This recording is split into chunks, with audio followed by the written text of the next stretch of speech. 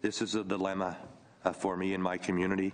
Four years have passed since the Grand Chief of Kebaowek First Nation talked policing at the Viens Commission. As there is no police service in this country or province, then it can expect two officers to work 24 hours a day, seven days a week, and 365 days a year. That's unrealistic. Now in 2021, Haymond sees small improvements. I now have uh, four officers. Um, one uh, one is a police, one is the chief of police, and I have uh, three uh, non-indigenous officers who travel into the community and work one week on and, and one week off. The Commission's final report found Indigenous police forces are chronically underfunded.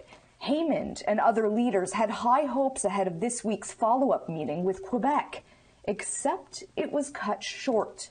I know that the chiefs of Quebec, you know, would very much like to have a second, you know, political meeting and finish the discussion uh, with uh, the minister prior to you know moving forward on the engagement of a of a technical table, which will look at these issues more in depth and you know propose and come back to us with you know potential solutions. Deputy Premier Geneviève Guilbault was pulled away Thursday to table emergency legislation on anti-vax protests. So the scheduled roundtable on policing ended after 45 minutes. But Quebec insists it's working on other key areas of the Viens report those priorities are um, the uh, first of all education, which is extremely important, talking about youth protection, and also the well-being of Indigenous women's. However, in the last few months, Kanesatake and Long Point First Nation both started pressing for police budgets, citing tensions with the Sûreté du Québec. On avait fait une demande d'avoir un médiateur.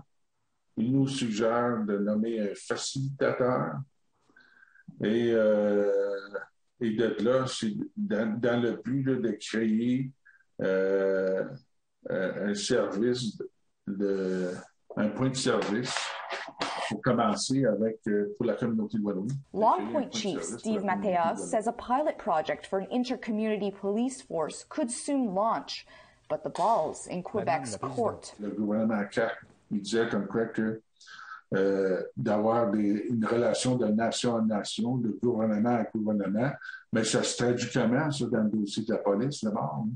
C'est ce genre de discussion-là qu'on qu veut aborder avec le gouvernement, puis qu'on veut clarifier une fois pour toutes, pour qu'on soit capable de, de, mieux gouverner, puis de mieux gérer nos, nos affaires dans nos communautés, entre autres comme la, la sécurité publique.